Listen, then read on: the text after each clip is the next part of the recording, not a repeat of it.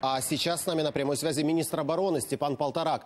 Степан Тимофеевич, здравствуйте. Мы видим, ситуация в зоне АТО в последние дни обостряется. Чего можно ждать в ближайшее время? Что может происходить 9 мая? И сколько времени продержится первая линия обороны в случае наступления боевиков?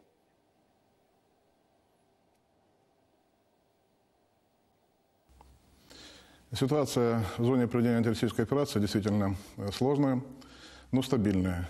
Э, последнее время, буквально неделя, э, количество обстрелов со стороны э, террористических группировок, которые поддерживаются российскими войсками, увеличилось. И я бы хотел бы сказать, что активность и обстрелов, и провокация увеличилась. Они активно проводят на данный момент боевую потоку, слаживание тех подразделений, которые сформированы террористическими группировками. Они Э, э, готовятся и проводят провокации по отношению к нашим подразделениям. Нами зафиксированы случаи, когда они выезжали э, в зону нашей ответственности и наносили удары из своего вооружения по своим же подразделениям для того, чтобы спровоцировать вооруженный конфликт. Что ожидать от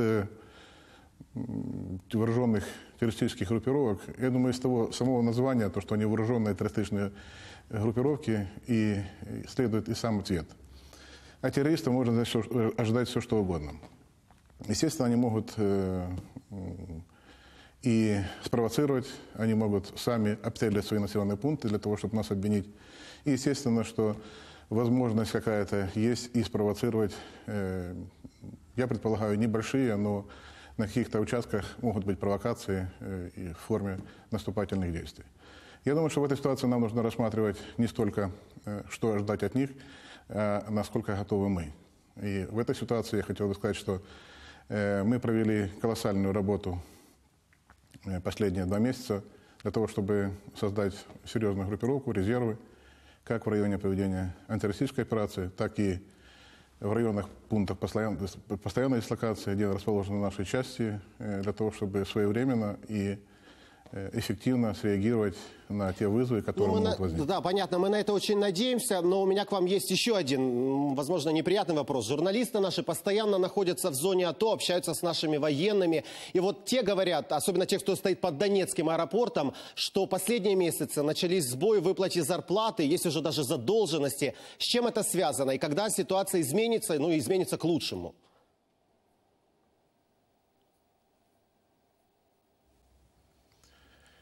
Системных проблем с выплатой заработной платы не существует.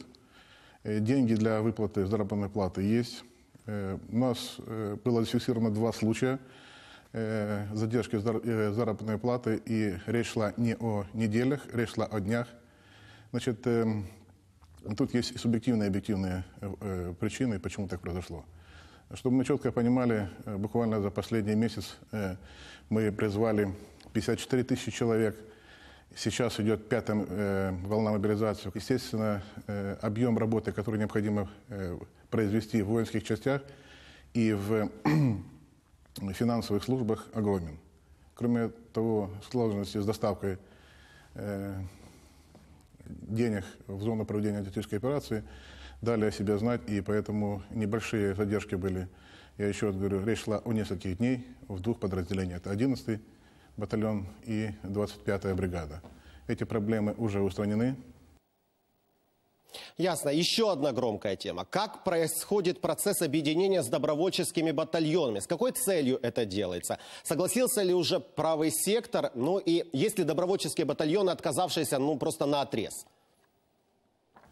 Человек, у которого есть оружие, у него должен быть статус.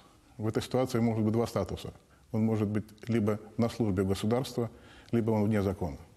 Поэтому все формирования, которые на сегодня не определились, они должны это сделать и выбрать э, свой путь. Что касается непосредственно правого сектора, у нас ведутся переговоры. Мы предложили им вступить в состав вооруженных сил значит, э, на законных основаниях. Это даст возможность э, более эффективно использовать силы и средства, которые у нас есть.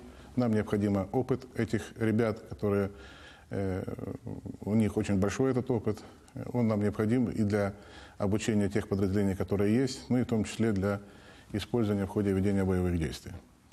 Э, Работа с ними продолжается. Значит, э, действительно, пока предварительно речь идет об одном батальоне, который будет входить в состав вооруженных сил Украины.